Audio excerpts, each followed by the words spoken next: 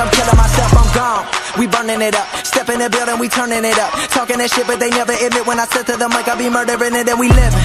Real good, mainstream, but it's still good. I got raw shit, I got real shit, but right now it's time for that feel good. We call that ballin', doing this is my calling.